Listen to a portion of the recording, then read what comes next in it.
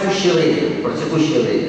Знаете, э, я собираю анекдот, это, это э, отчасти антропологическое такое занятие, потому что анекдот – это лучший учебник истории. А, вот вместо большого тома исторического можно сказать анекдоты, которые э, рассказывались, которые были как бы главными анекдотами каждого года, каждого там периода исторического.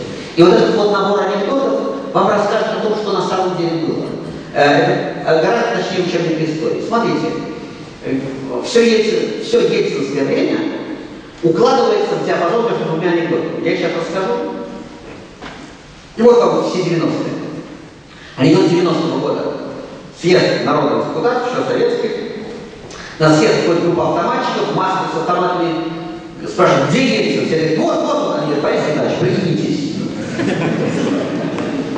90-й год, да? Всех покрошить, этого оставить, да? 98 год, анекдот 98 -го года. Выходит Ельцин с церкви, какая-то бабушка говорит, подай, Николаевич. Я говорю, как я тебе подам бабку? У меня ни меча, ни ракеты. Вот диапазон, вот диапазон отношения, да, к историческому персонажу. И больше можно, в сущности, достаточно того, чтобы понять, какой путь прошла Россия в своем отношении к фигуре, да. Путинское десятилетие настало. Первые четыре года тишина, никаких. Три типа анекдотов. То есть анекдотов было довольно много, но все они укладывались в листовки. Это были анекдоты про вернувшийся страх. Помните, приходит человек в отдел кадров, говорит, я приехал из Петербурга, он говорит, зачем ты сразу пугать? Про вернувшееся ощущение страха. Да?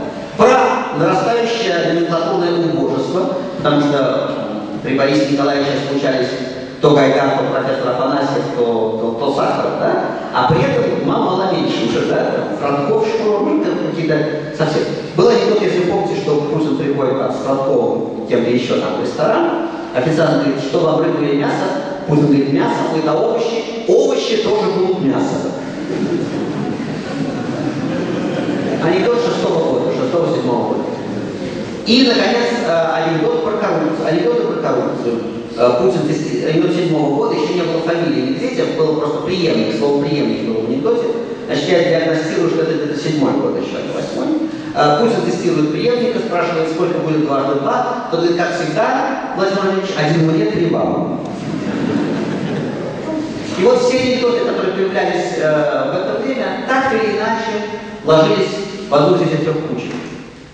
В 2010 году, еще до свиста в Олимпийском и до всякой болотной, да, я услышал анекдот и сказал, о, надо же, что-то что поменялось. Анекдот звучал так, на нем и закончил.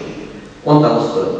А, ходит мужик в автомобильной пробке, стучится в окна, говорит, террористы захватили Владимира Владимировича, значит, требуют 10 миллионов выкупа долларов, иначе грозят облить бензином и поджечь, вот мы ходим по машинам, кто сколько даст, мужик за рулем говорит, литров 5 дам.